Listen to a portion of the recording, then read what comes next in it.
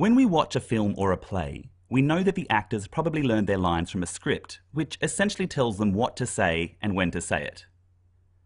A piece of written music operates on exactly the same principle. In a very basic sense, it tells a performer what to play and when to play it. Aesthetically speaking, there's a world of difference between, say, Beethoven and Justin Bieber. But both artists have used the same building blocks to create their music notes. And although the end result can sound quite complicated, the logic behind musical notes is actually pretty straightforward. Let's take a look at the foundational elements to music notation and how they interact to create a work of art. Music is written on five parallel lines that go across the page. These five lines are called a staff, and a staff operates on two axes, up and down and left to right. The up and down axis tells the performer the pitch of the note, or what note to play, and the left to right axis tells the performer the rhythm of the note, or when to play it. Let's start with pitch. To help us out, we're going to use a piano, but this system works for pretty much any instrument you can think of. In the Western music tradition, pitches are named after the first seven letters of the alphabet. A, B, C, D, E, F, and G. After that, the cycle repeats itself. A, B, C, D, E, F, G, A, B, C, D, E, F, G, and so on. But how do these pitches get their names? Well, for example, if you played an F and then played another F higher or lower on the piano, you'd notice that they sound pretty similar compared to, say, a B.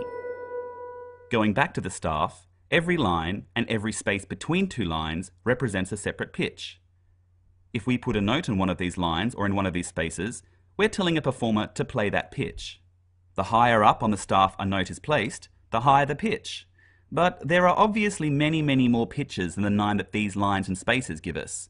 A grand piano, for example, can play 88 separate notes. So how do we condense 88 notes onto a single staff? We use something called a clef. A clef is a weird looking figure placed at the very beginning of the staff and it acts like a reference point telling you that a particular line or space corresponds to a specific note on your instrument. If we want to play notes that aren't on the staff, we kind of cheat and draw extra little lines called ledger lines and place the notes on them.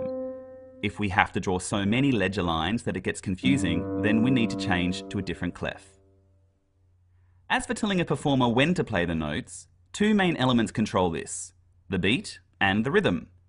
The beat of a piece of music is, by itself, kind of boring. It sounds like this. Notice that it doesn't change, it just plods along quite happily.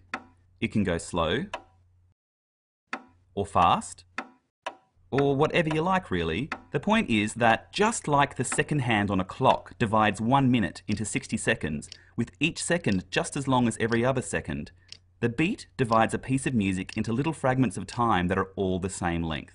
Beats. With a steady beat as a foundation, we can start adding rhythm to our pitches, and that's when music really starts to happen. This is a quarter note. It's the most basic unit of rhythm, and it's worth one beat. This is a half note and it's worth two beats. This whole note here is worth four beats, and these little guys are eighth notes, worth half a beat each. Great, you say. What does that mean? You might have noticed that across the length of a staff, there are little lines dividing it into small sections.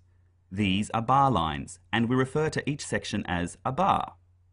At the beginning of a piece of music, just after the clef, is something called the time signature, which tells the performer how many beats are in each bar. This says there are two beats in each bar, this says there are three, this one four, and so on.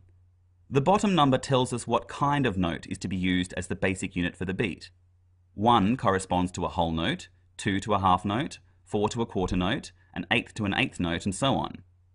So this time signature here tells us that there are four quarter notes in each bar. 1, 2, 3, 4, 1, 2, 3, 4, and so on. But like I said before, if we just stick to the beat, it gets kind of boring, so we'll replace some quarter notes with different rhythms. Notice that even though the number of notes in each bar has changed, the total number of beats in each bar hasn't. So, what does our musical creation sound like? Eh, sounds okay, but maybe a bit thin, right?